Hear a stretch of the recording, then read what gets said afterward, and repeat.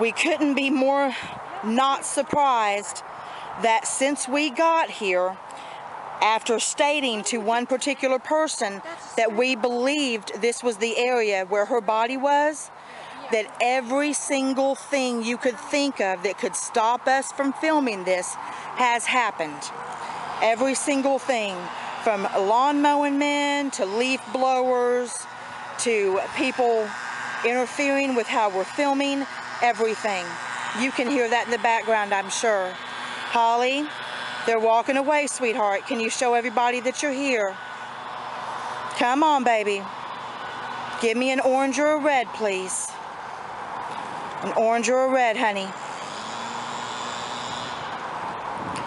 Come on, there you go, sweetheart.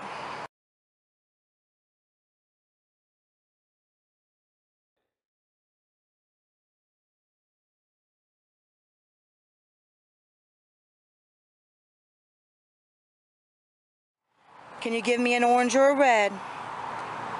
Come on now.